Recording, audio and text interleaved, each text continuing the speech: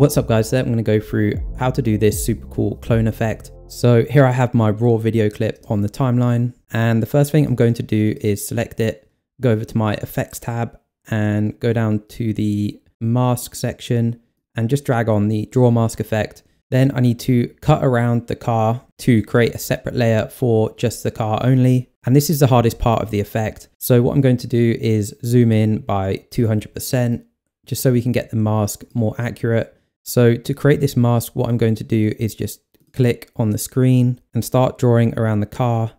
And if you click and hold, you'll be able to drag out these points, which makes a smooth curve on the mask. And it's important that you do that when there's a round bit on the subject so that you get a nice smooth mask. So now we have the mask created. I'll just go through a few more tips on masking. So if you want to add another point to the mask, what you can do is just double click on the line and that will add another point. And you can also go back and change the curves of the points. If you hold down command, select the point and then just drag, it will let you curve out the edges. Another good tip is you can actually click and drag and just select different points on the mask. And if we click and drag on one of them, you can actually move that portion and all of those points together. And this makes it really useful when we have to animate the mask and keyframe it. And if you wanted to delete any of these points, then you just right click and go to delete point. Another cool feature, what you can do is select all of the points or just a certain few points that you want to smooth out. And then if you right click, you can click smooth, which will add curves to all of the points to smooth them out. So you don't get like the sharp edges and that's pretty useful if you want to just create a quick mask without adding curves and then you can add the curves afterwards. The next thing that I like to do when masking out a subject and having to track it is just to copy and paste the video layer by holding down Alt on the keyboard and then dragging. And then on the bottom layer, what we'll go, what we'll do is turn off the draw mask effect. So now if we click the top layer, we can see the background so that we can easily find the edges when tracking the mask. So next step is to go up here to the draw mask effect on the top layer, go to transform, hit the keyframe button on position rotation scale and then also on control points. And then I'm going to go to the beginning of the video clip and move the mask so that it's around the car again. And then what I can do is select all of these ones on the side, move them over so that it's in the general area that it needs to be and then I can just refine some of these ones around here. So once I've repositioned the mask on the first frame, I'm going to go to the end of the video clip and reposition the mask so that it's around the car on the last on the last frame. Okay, so now I have the end frame done, the middle the middle section and the first frame masked out, what I'll do is go in between the first and middle frame around about here, move the mask, readjust it, and then I'll do the same between the middle clip and the last frame and basically just adjust the mask so that eventually the whole way through the video, the mask is sticking to the car. So now that I have the car fully masked out, you should be able to go through each frame and see that the mask is around the subject. You can use the feather to take away some of the image if you need to. When you animate it, if you notice that there's some background still in there, then you can turn the feather down to like minus 5 or minus 10, just get rid of the edges and then the next thing I'm going to do is turn this into a compound clip. So I'm going to right click and go to new compound clip.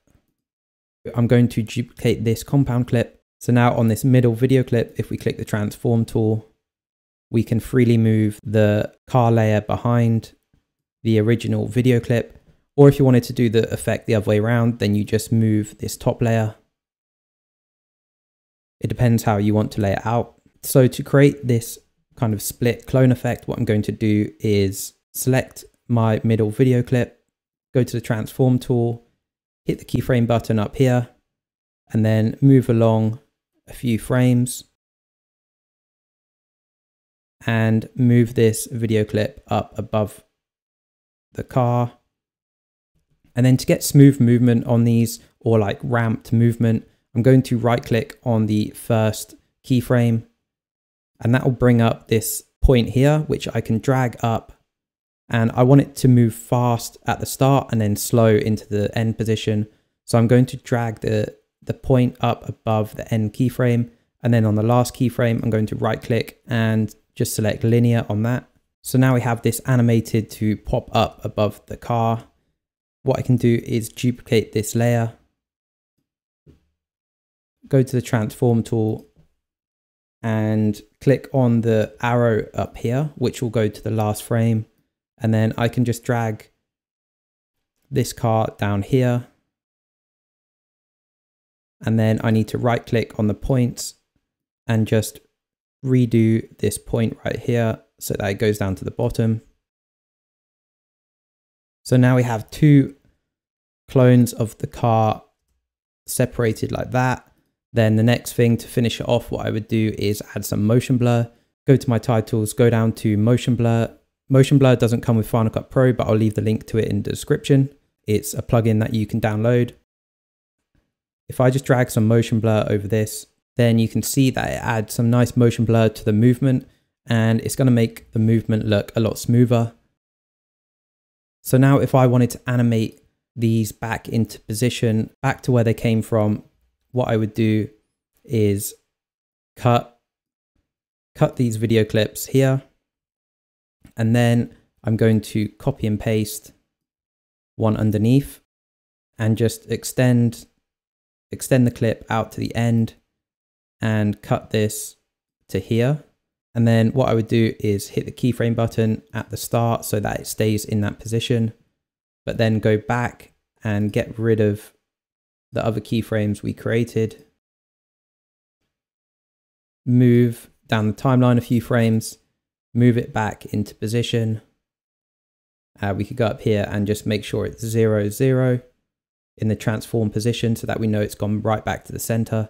On the last keyframe position, I'm going to right click, click smooth and just drag the point down to this first video clip. Right click on the first keyframe, make sure it's linear. So now the car should move into position in a ramped speed. And then I'm just going to repeat the process for this one.